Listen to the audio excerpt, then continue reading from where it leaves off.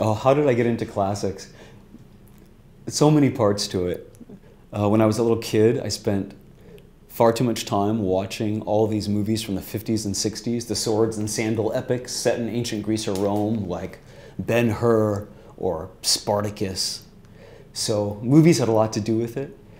I traveled a lot with my parents when I was young through uh, much of the world that would become part of the Roman Empire.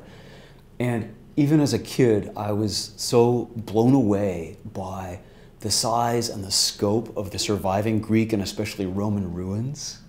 Um, that makes a huge impression on you when you're a kid.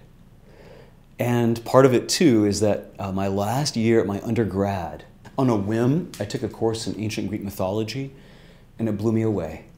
Um, it opened, up, opened up my eyes to a, a new way of seeing the world that I just found deeply inspiring, attractive. Uh, I was not a classics major then, but it transformed my life because growing up in a, in a given culture, like, like everybody does, you automatically view the world through the lens of your inherited culture. You don't have the tools or the ability to view it in any other way. How could you?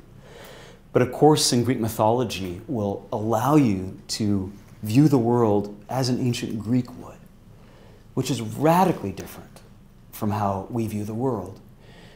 And it's an exciting perspective.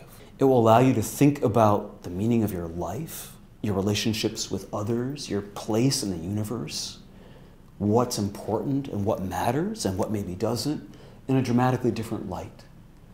Um, so take a course in Greek mythology because it will transform your own shape of your own world. That's what I'd say. Thank you.